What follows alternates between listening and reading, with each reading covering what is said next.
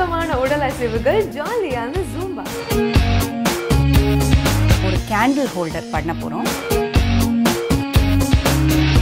உணவு நல்லா கிடைக்குது அப்படிங்கிற ஒரே காரணத்துக்காக கிடைச்சதெல்லாம் சாப்பிடக்கூடாது. பெண்கள் சாய்ஸ் இன்று மதியம் பனிரெண்டு முப்பதுக்கு நமது புதியுகத்தில்.